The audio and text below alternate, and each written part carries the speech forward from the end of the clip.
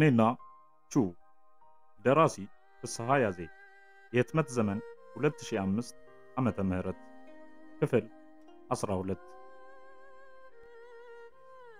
ቹን ስሸኛት እኔና ቹ ለስምንት ወራት ያህል በአንዲት ጠባብ ቤት ውስጥ በጋራ በፍቅር ኖረናል። በአብሮነታችንም ፍጹም ደስተኞች ነን። እኔ ለእሷ እሷ ለእኔ የነበረን ስሜትም ፍጹም ፍቅርን መሰረት ያደረገና የሚያስደንቅ መተሳሰብ የተሞላበት ነበር። የፍቅር ግንኙነታችንና አብሮነታችንም ብዙዎችን ያስገረመና ያነጋገረ ሆኗል።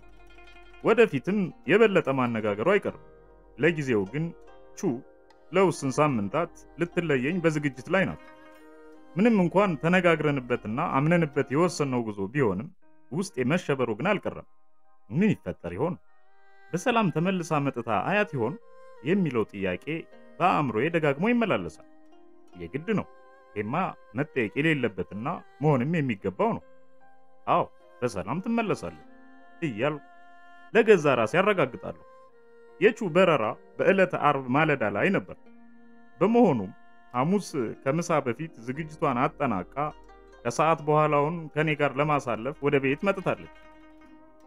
እኔ አስቤ የነበረው ለማንኛውም ተጓዥ እንደማደርገው አየር መንገድ ድረስ ሄጄ እሸኛታለሁ የሚል ነበር። ሆኖም ከቹ ገለጻ የተረዳሁት አጠቃላይ የጉዞ process ኡ በመስሪያ ቤታቸው በኩል እንደሚከናወንና ሸኝም እንደማያስፈልግ ነው። በራሳቸው ትራንስፖርት ኤርፖርት ድረስ አድርሰው በሰላም መነሳቷን አረጋግጠው የሚመለሱ የራሷ ዜጎች የሆኑ ባልደረቦቿ እንዳሉ አስረዳች። በረራዬ ነገ ጠዋት ነው።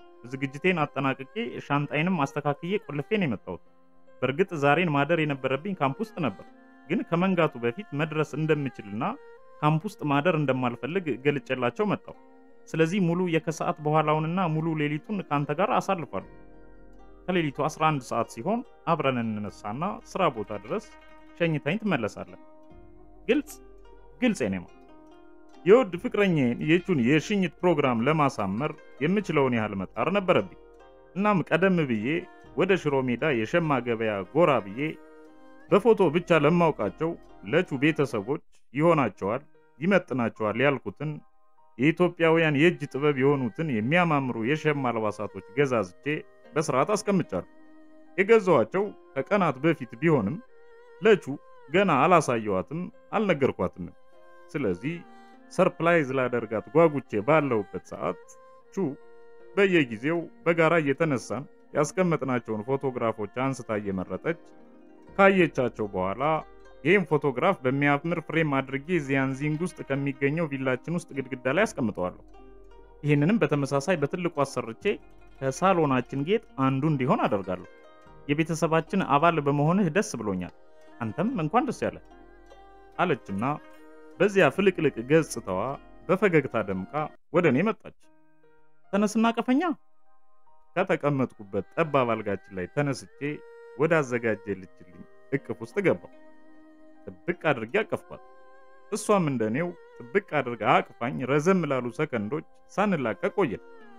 በመጨረሻ አጥብቃ ያቀፈችባቸውን እጆቿን ለቀቅ አድርጋ ሁለቱንም ቀጫጭንና ለስላሳ እጆቿን ግራና ቀኝ ትከሻዎች ላይ አሳረፈቻቸው። እኔም እንደሱ አደረግኩ። አሁንም በዝምታ ተውጠን በናፍቆት በሚንሰፈሰፉ አይኖቻችን እርስ በርስ እየተያየን ሌሎች ተጨማሪ ሰከንዶችን አሳለፍ። የእጆቿ ግለት ልብሴን አልፎ ትከሻዬን ሲያሞቅ፣ የትንፋሿ ግለት መሳም ቀረሽ አጠጋግ የተጠጋውን ፊቴን ሲገርፈው ተገረሙ። ያኔ ከስምንት ወር በፊት በጠራራ ፀሐይ ሳገኛትና ስጨብጣት የበረዶ ያህል ይቀዘቅዝ የነበረው እጇ በጊዜ ሂደት ሞቃታማ እየሆነ ሄዶ እዚህ ደረጃ መድረሱ ነው የግርምቴ መነሻ። እሱም ብቻ ሳይሆን መላ ሰውነቷ ተመሳሳይ ግለት ውስጥ መሆን መጀመሩን ካስተዋልኩ በኋላ ስደነቅ ቆይቻለሁ። ይህም የአመጋገብ ለውጥ ማድረጓና የሀበሻ ምግቦችን አዘውትራ መመገብ ከጀመረች በኋላ የመጣ ለውጥ መሆኑን ድምዳሜ ላይ የደረስኩበት ጉዳይ ነው። ያኔ እርቃኗን ሆና አቅፌያት ስተኛ በረዶ አቅፌ የተኛው ያህል ይሰማኝ የነበረው ሁሉ ቀርቶ በተቃራኒው ካለኝ ሙቀት የበለጠ ሙቀት ስሻ የቹን ገላ ማቀፍ ትክክለኛ መፍትሄ ሆኖ መገኘቱ በራሱ እያስደነቀኝም እያስደሰተኝም መሄድ ከጀመረ ሰነባብቷል። የአሁኑ ሁኔታ ደግሞ የበለጠ አስገረመኝ፣ አግራሞቴንም አስታወሰ። ቹ ለውጧ ይሄ ብቻ አልነበረ። ጎድጎድ ጎድጎድ ያሉ የነበሩ ጉንጮቿ ሞላ ሞላ ብለዋል። አዘውትራ የምትለብሳቸው ጅንስ ሱሪዎችም እየጠበቧት መሄዳቸውን አስተውያለሁ። እሷም አረጋግጣልኛለች። ስለዚህ ቹ ወፈርፈር ብላለች። ይህንን ግን ልብ ብዬ ማስተዋል የጀመርኩት አሁን በዚች ቅጽበት ነበር። በእንዲህ አይነት ስሜት ውስጥ ሆነን በጸጥታ በፍቅር አይን ስንተያይ ከቆየም በኋላ እንዲሁ ልለቃት አቃተኝ። እናም ትከሻዎቿ ላይ ያሳረፍኩትን እጆቼን አንስቼ ፀጉሯ ላይ ያሳረፍኳቸውና አመቻችታ የጋበዘችኝን ከንፈሮቿን በጉጉት መመጥመጥ ጀመርኩ። ቹም ከኔ በበለጠ ፍጥነትና ጉጉት ቀጠለችበት። ከደቂቃዎች በኋላ ሁለታችንም ትንፋሽ አጥሮን ለመላቀቅ ተገደድን። በጣም ደስ ይላል፣ አመሰግናለሁ ሀንዬ። ይህን ካለች በኋላ ቤታችን ውስጥ ተቀምጠው ከነበሩ አልባሳቶቿ ውስጥ እየመረጠች ለዚህ ስትል አዘጋጅታ ባዶውን ይዛው ወደ መጣችው አነስተኛ ሻንጣ ማስገባት ጀመረች። ብዙዎች እዚሁ የሚቀሩ ናቸው፣ ነገር ግን ጥቂት የውስጥ አልባሳትን መያዝ አለብኝ ስትለኝ ይህ ሻንጣ ሌላ የሚይዘው ዕቃ አለ። ስለዚህ ሰፋ ያለ ቦታ እንድታስተርፍ አሳስባለሁ። surprise አልኩና ደብቄ ያስቀመጥኩትን ዕቃ ወጣ። ደንገጥ ብላ ፈጠጠች። በነገርሽኝና ፎቶግራፋቸውንም ባሳየሽኝ መሰረት አንድ ታላቅ ወንድም፣ አንዲት ታናሽ እህት እንዲሁም ተወዳጅ አባትና ተናፋቂ ናት። በዚህ መሰረት ይህ ለእናትሽ አልኩና ከትልቅ ፌስታል ያወጣሁትን የሚያምር የሀበሻ ቀሚስ ከስስ አላባሽ ነጠላ ጋር ሰጠዋት። በእጇ ይዛ በከፍተኛ ጩኸት wow ስትል ጮኸች። እኔ ተግባሬን ቀጠልኩ። ይሄ ደግሞ በሱሪ መልክና በሸሚዝ መልክ ተዘጋጅቶ ለወንዶች የተሰራ አልባሳት ሲሆን ለተወዳጁ አባትሽ፣ ይሄ ለወንድምሽ፣ ይሄ ደግሞ የታናሽ እህትሽ፣ ቀሪው የአንቺ ሲሆን በሁለቱ የሴት ቀሚሶች ጋር አንድ አይነት የሆነና የሚያምር ባህላዊ አልባሳት ነው። ኢትዮጵያውያን ከጥንት ጀምሮ በባህላዊ መንገድ ጥጥ እየፈተሉ የሚሰሩትና ሲለብሱ ሲያጌጡበት የኖሩት አሁንም ድረስ በዘመናዊ መልክ እየተሰራ የቀጠለ በተለይ በበዓል ጊዜ የኢትዮጵያ ሴቶች የሚደምቁበት ተወዳጅ አልባሳት ነው። በጣም ዘመናዊ የሆነ በመሄዱ ደግሞ ለወንዶችም እንዲሆን ተደርጎ መዘጋጀት ጀምሯል። እንደሚወዱትም ጥርጥር የለኝም። ለመሸከምም አይከብድሽም፣ ቀላል ነው። ስለዚህ ከቀናት በፊት ገዝቼ ደብቄ ያቆየሁትና አሁን surprise አደረኩሽ። ተሳክቶልኛል ስል ጠየኳት። እጅግ በጣም በጣም በጣም ተሳክቶልሃል። wow እና ሳመኝ በእናትህ። የደስታ እንባ እቅፍ አድርጌ ሳምኳት። በጣም አስደናቂ ነው። እንዴት ደስ ይላል! ትልቅ ተግባር ከወንክ።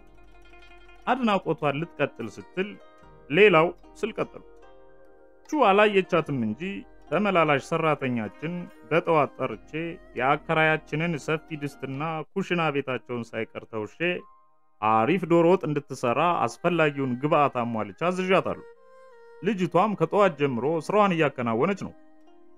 አሁንም ድረስ ኩሽና ውስጥ ናት።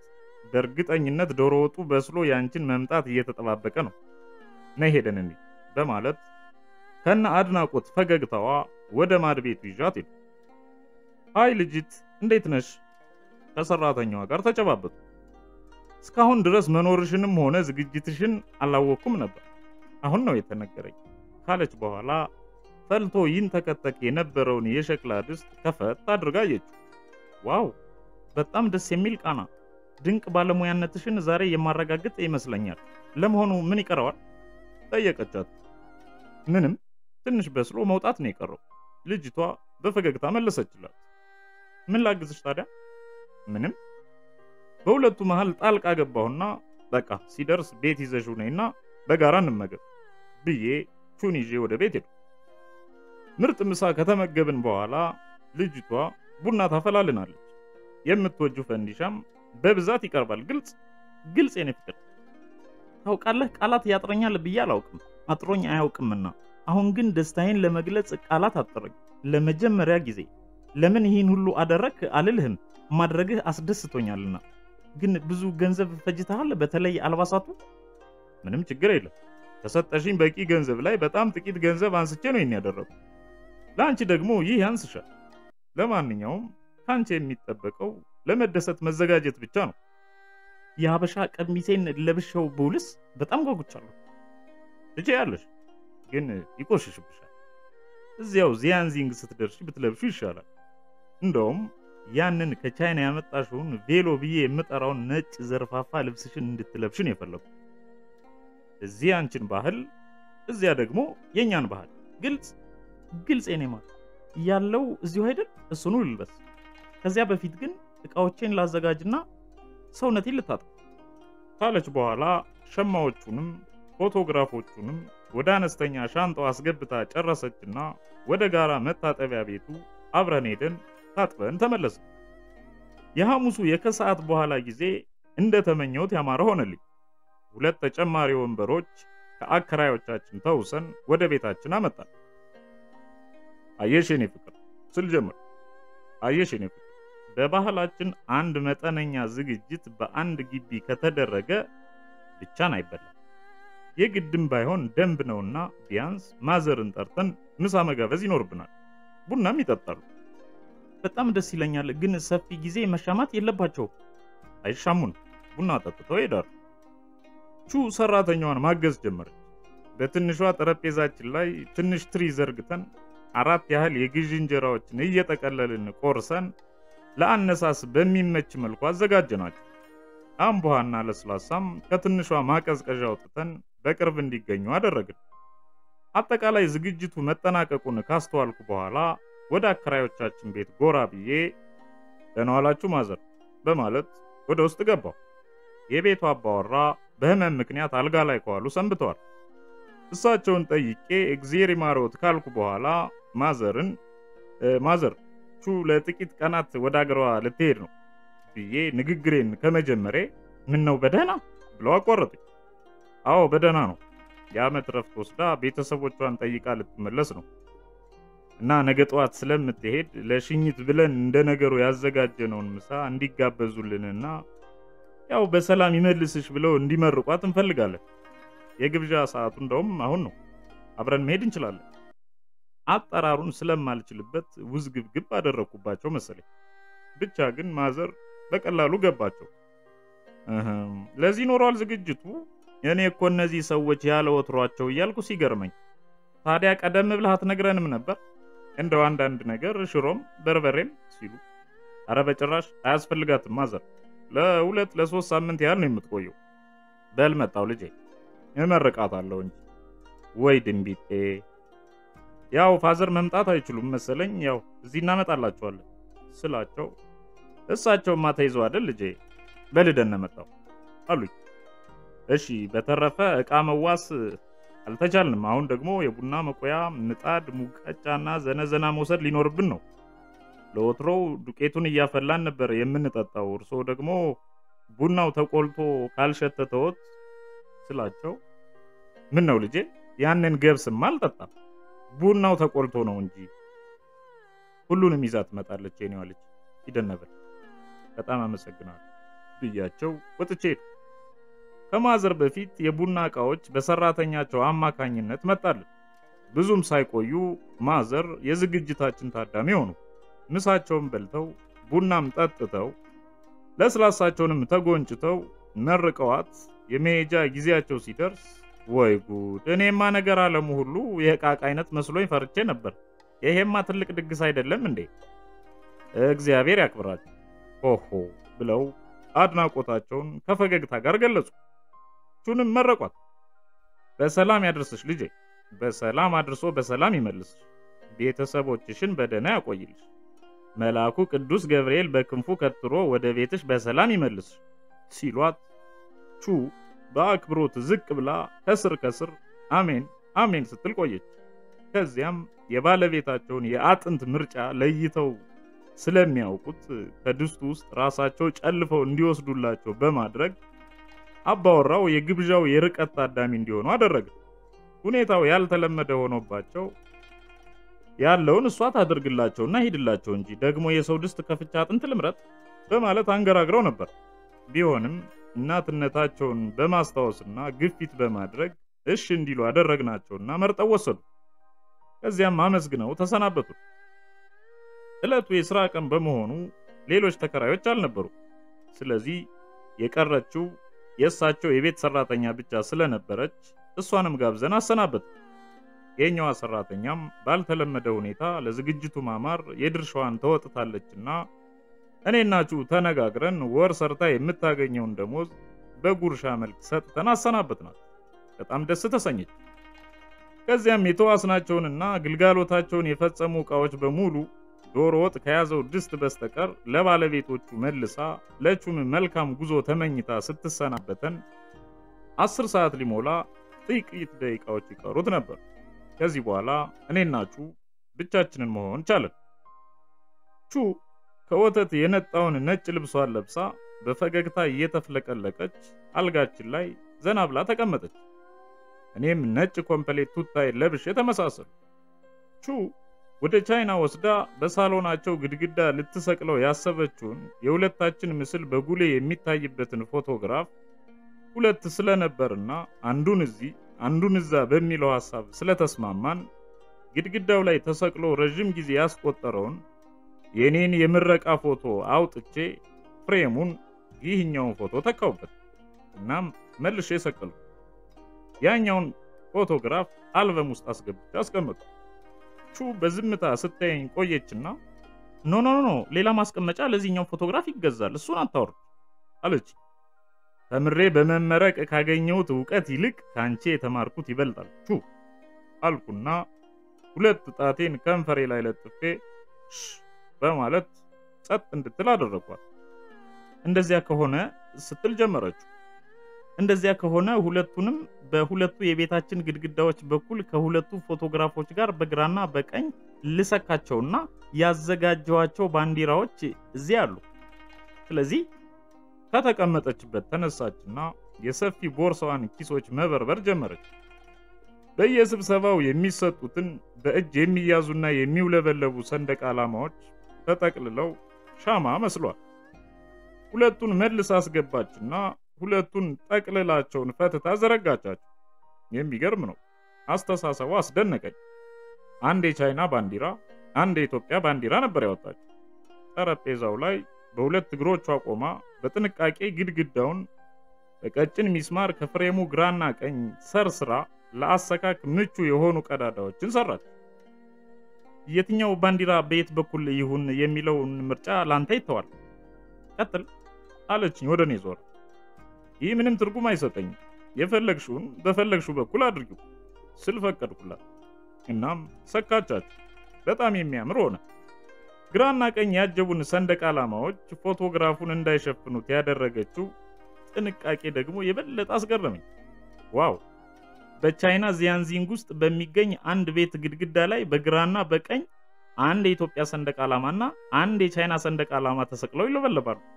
በኢትዮጵያ አዲስ አበባ ውስጥ በሚገኝ አንድ ቤት ግድግዳ ላይ ደግሞ በቀኝና በግራ አንድ የቻይና ሰንደቅ ዓላማና አንድ የኢትዮጵያ ሰንደቅ ዓላማ ይውለበለባሉ። በእርግጠኝነት ኢትዮጵያና ቻይና የኔንና የቹን ያህል ተዋደው አያውቁም። አሁንም አይዋደዱም፣ ወደፊትም አይዋደዱም።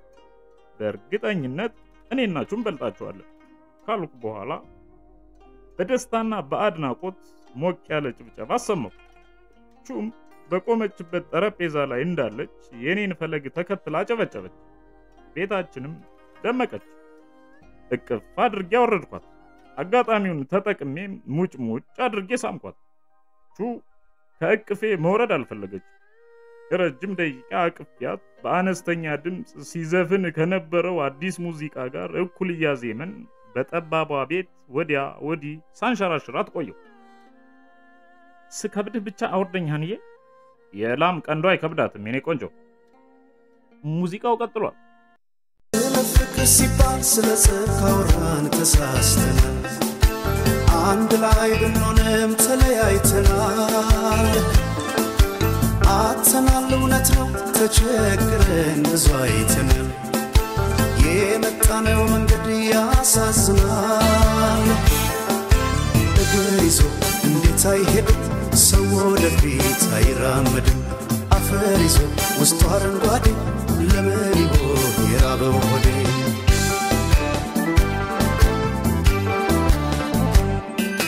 ብራናው ይነበብ ተዘርግቶ ባትሮሱ ላይ የነፋስ ሲለደስ የነተዋናይ የት ጋር እንደሆነ ይታ መሰረቱ የኋላው ከሌለ የለም የፊቱ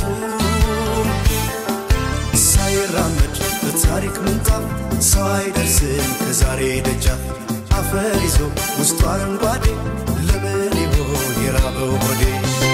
ከአድማስ የራቀን ምን ነው ይሄ መንገድ ያባክነኛል? በየት በኩል ብሄድ ወደ ረፍታ ሀገሬ ቶሎ ያደርሰኛል ቀስተ ነው የለበስኩት ጥበብ የያዝኩት አርማ አልጠላም ወድጄ የነፍሴ ላይ ፋኖስ እንዳይጨልማ እያለ ቴዲ አፍሮ ያዜማል። ከሳምንት በፊት የገዛሁትና ሰሞኑን በተደጋጋሚ ስናዳምጠው የነበረ ዜማ ስለሆነ እኔም ቹም እየተከተልን እኩል አዚመን ጨረስ ነው። ይህ ዜማ እንዳለቀ ቹ ሳም አድርጋ አሁን በቃ ይሉረድ አለችኝና ሸርተት ብላ ወረደች። ጥሩ ሙዚቀኞችም ነን ሀንዬ ስትለኝ በጣም እንጂ ታውቂያለሽ፣ ይህን ዘፈን ወድጀው ልሞት ነው።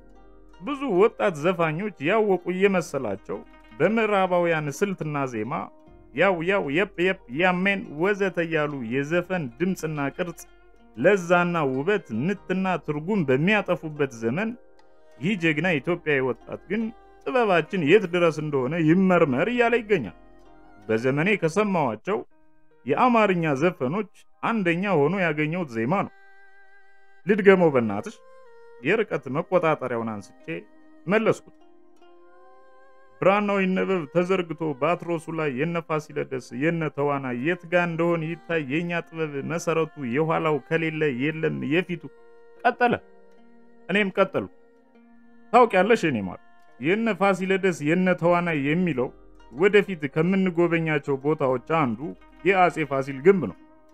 እናም በ16ኛው መቶ ክፍለ ዘመን የኢትዮጵያን ንጉሠ ነገሥት የነበረውና ጎንደር ከተማን የቆረቆረው ሕንፃውን የሚያሰራው አጼ ፋሲለደስ ነው።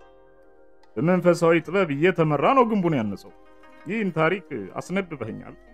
እኔ ያልገባኝ የነ ተዋናይ ያለው ነው። የንጉሱ ስም ነው ወይስ? ተዋናይ ማለት የታወቀ መንፈሳዊ ሊቅ ነው። ተዋናይ ስሙ ነው። ደብተራ ተዋናይ ይሉታል። ደብተራ የመንፈሳዊ ትምህርትን መሰረት አድርጎ በረዶና ዝናብን ማቆምም ማዝነብም የሚችሉበት ደረጃ የደረሱ ሌሎችንም ጥበቦች የሚያውቁ ነገር ግን ክህነታቸውን አፍርሰው ስርዓተ ቅዳሴን የማይፈጽሙ ሊቃውንት የሚጠሩበት እናንተ ደግሞ አንዳንዴ እየከፈላችሁ ዝናብን የሚያቆሙላችሁ ናቸው። ተዋናይ ግን ደብተራ ሆኖ በዘመኑ ከማንም በላይ ጥበበኛና በነ ፋሲለደስ ዘመን የነበረ ድንቅ ግለሰብ ነው። በዘመኑ ከቤተ መንግስት ሳይርቅ ነገስታትን በማማከር ደረጃ ይሰራ ነበር። ብዙ ኢትዮጵያውያን አያውቁትም። ቴዎድሮስ ካሳሁን ግን ጠንቅቆ አውቆት ዘፍኖለታል፣ ዘፍኖበታል። ተዋናይ በዘመኑ ያለ አንዳች አጋዥ መሳሪያ እንዲሁ ተነስቶ በአየር ላይ ይበር ነበር። ወደ ፈለገበት ቦታ መንፈሳዊ ጥበብን ተጠቅሞ ብድግ ብሎ ይበራል፣ ይሄዳል። የፈለገበት ቦታ ደርሶ ይመለሳል። ይህንን ጥበብ ብዙዎች በዘመኑ የነበሩ ሊቃውንት ምትሃት ነው እያሉ ያጣጥሉበት ነበር። ነገስታቱም ያልተለመደ ሆኖባቸው በቅዱስ መንፈስ የመጣ ጥበብ አይደለም በሚል ይህን ተግባሩን ሲያወግዙት ቆዩ። በመጨረሻ በ1713 ዓመተ ምህረት የነገሰው አጼ በካፋ ይህን ጥበብ ከተዋናይ መማር ፈለገና አቀረበው። በቀናት ልምምድ ተዋናይ ንጉሥ በካፋን በአየር ላይ መብረር አለማመዳቸው።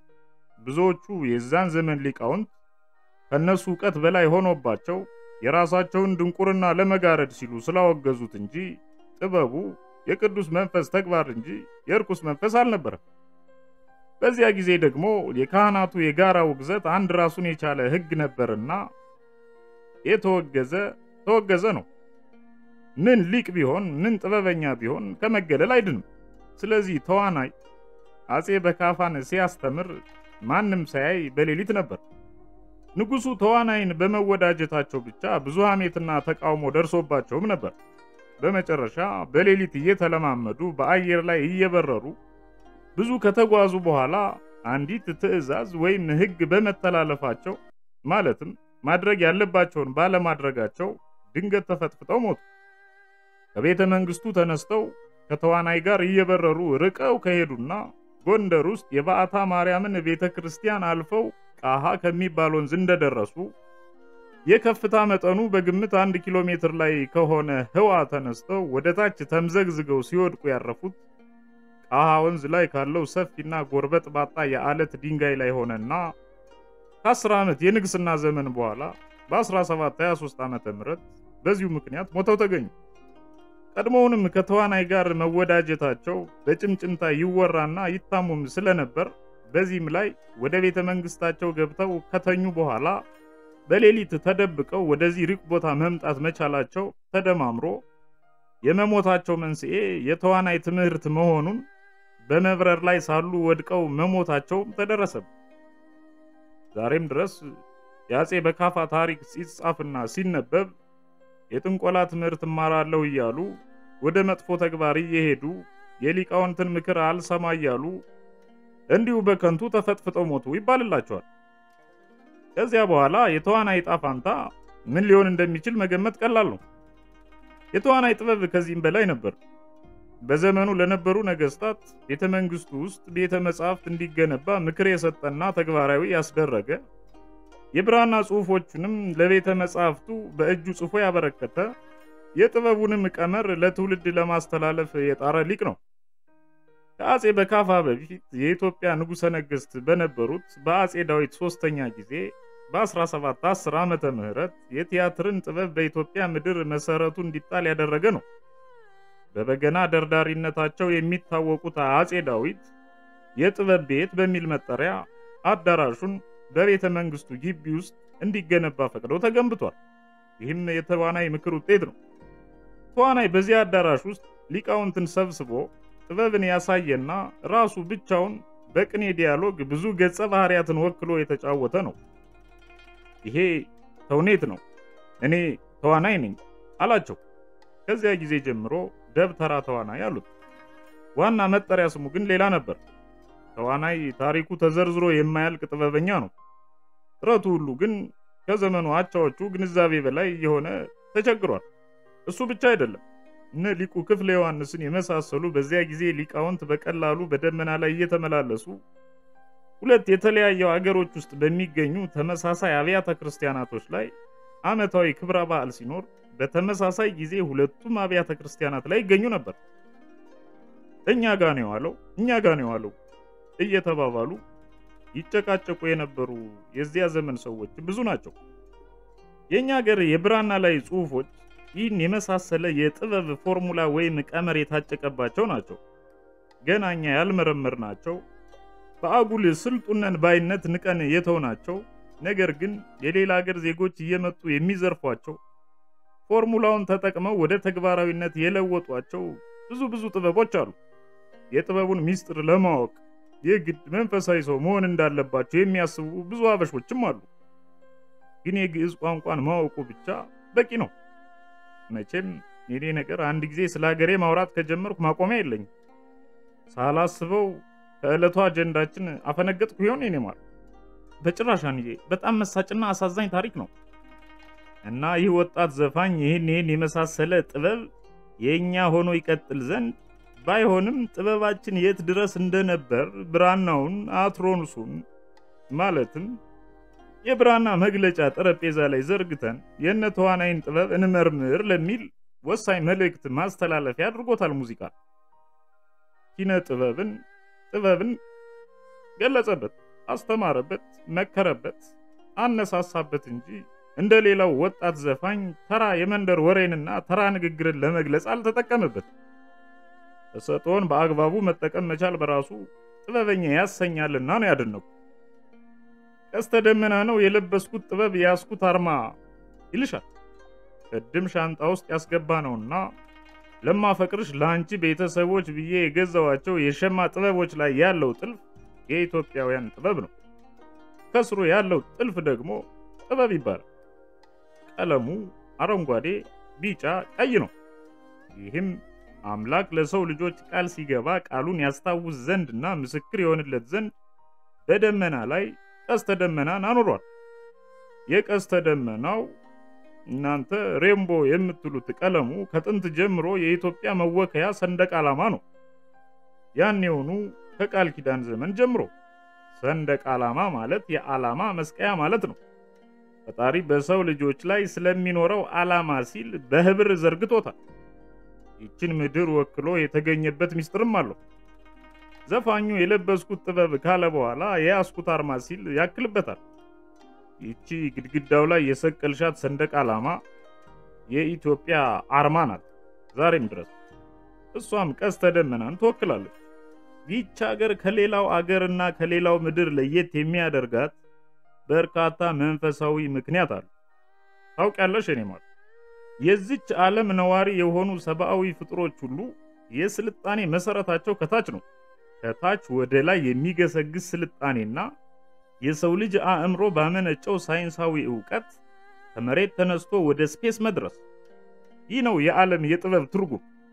ይህ ነው ዘላቂ ያልሆነ መነሻና መድረሻቸው። በዚች ምድር ላይ ግን ጥበብ ከታች ወደ ላይ አይደለም፣ ከላይ ወደ ታች ነው። ከላይ ወደ ታች ሲፈስ የኖረ ጥበብ የኢትዮጵያ ልዩ መታወቂያ ሆኖ ሺህ ዘመናትን አስቆጥሮ ብዙዎችን ሲያስደንቅ ኖሯል። ጥበቡን መመርመር የእኛ ድርሻ ነው ብሎ ሲያዜምልኝ ደጋግሜ መስማት ፈለግኩልሻለሁ።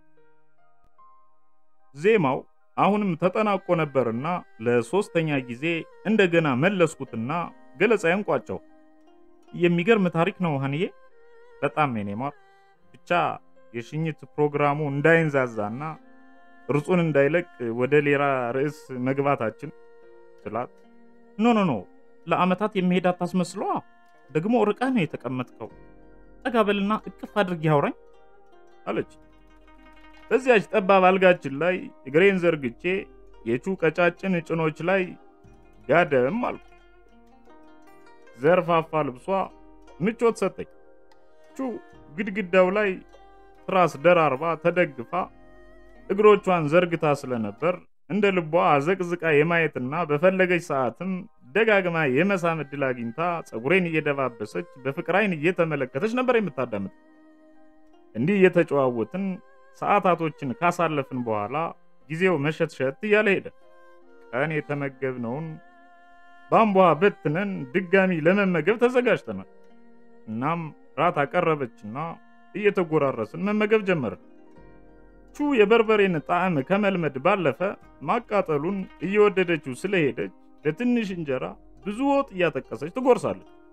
ስትመገብ የእጆቿን ጣቶች እንደ ሹካ በመጠቀም ነው። በሙሉ ጣቶቿ ሳይሆን በሶስት ጣቶቿ ነው እንጀራውን የምትቆርሱ። እንጀራ አጠቃለልን ብቻ ነው በደንብ ማስተማር ያቃት።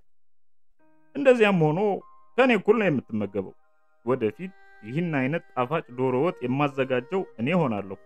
በትርፍ ጊዜ የሀበሻ ምግብ አሰራርን መሰልጠን እችላለሁ አይደል ስትል ጠየቀች። በሚገባ የኔ ቆንጆ። wow በጣም አስደሳች ራት። የመጨረሻውን ጉርሻ ጎርሳ ለእኔ ካጎረሰች በኋላ ማዕድ ተነሳ። ቹ ዕቃዎቹን አጣጥባ ቦታቸውን አስያዘች።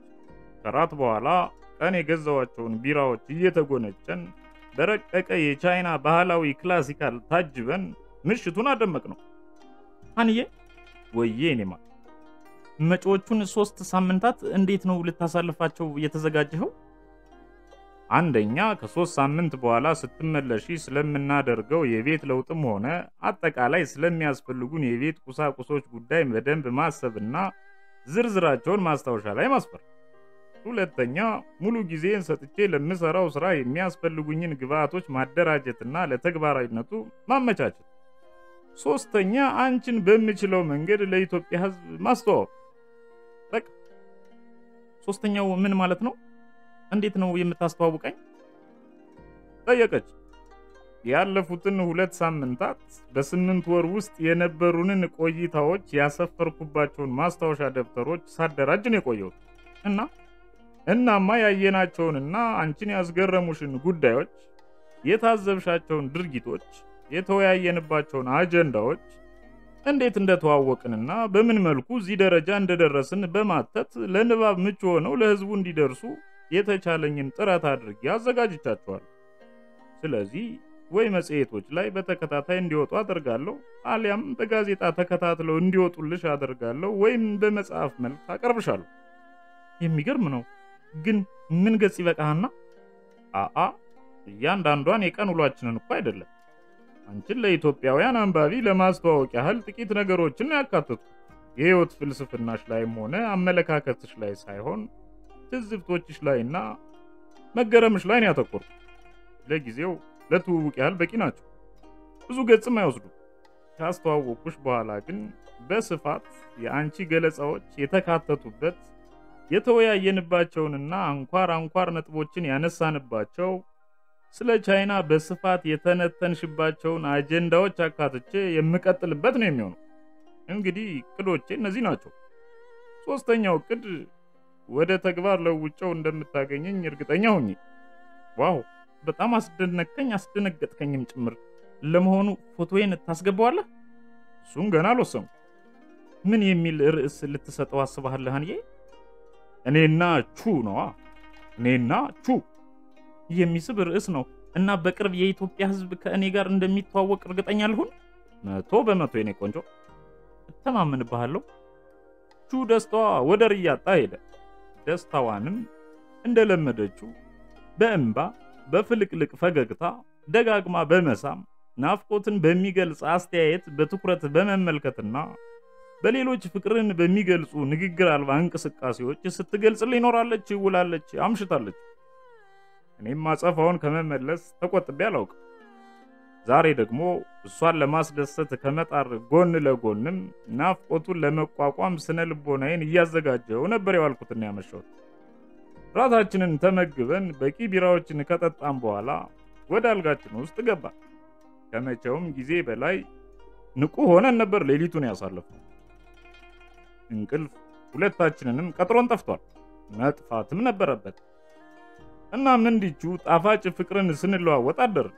በመጨረሻ የተሞላው alarm በቃችሁ አለን። አስራ አንድ ሰዓት ላይ ተነሳን ባይባልም ከአልጋችን ወረድን። ሰላሳ ደቂቃውን ለዝግጅት ተጠቅመንበት አስራ አንድ ተኩል ሲሆን ወጣን። ቹ ጠባብ ጂንስ ሱሪዋን ታጥቃ ቀለል ያለ ሸራ ጫማ ተጫምታ ከላይ ውስጡ በላባ የተሞላ ነጭ ጃኬቷን ደርባ ቦርሳዋን አነገተች። ሻንጣዋን እኔ አንጠለጠሉ። ከዚያም ስራ ቦታ ድረስ ሸኘዋት።